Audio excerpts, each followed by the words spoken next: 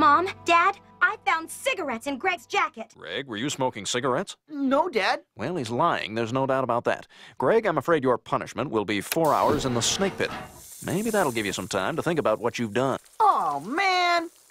That'll teach him. And Jan, I'm afraid you've earned a day in the Chamber of Fire for tattling on your brother.